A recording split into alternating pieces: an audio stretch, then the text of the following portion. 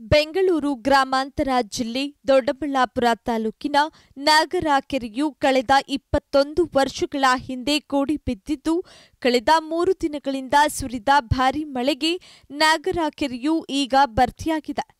ಕೋಡಿ ಬಿದ್ದ ನಾಗರ ಕೆರೆ ನೋಡಲು ಸಾರ್ವಜನಿಕರು ಆಗಮಿಸುತ್ತಿರುವ ಹಿನ್ನೆಲೆ ನಾಗರ ಕೆರೆಯ ಸಮೀಪ ಪೊಲೀಸ್ ಅಧಿಕಾರಿಗಳಿಂದ ಕಟ್ಟೆಚ್ಚರ ನೀಡಲಾಗಿದೆ.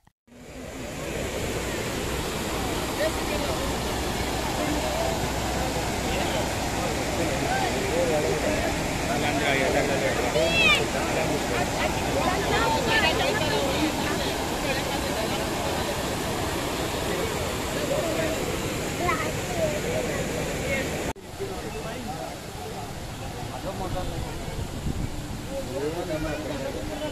you.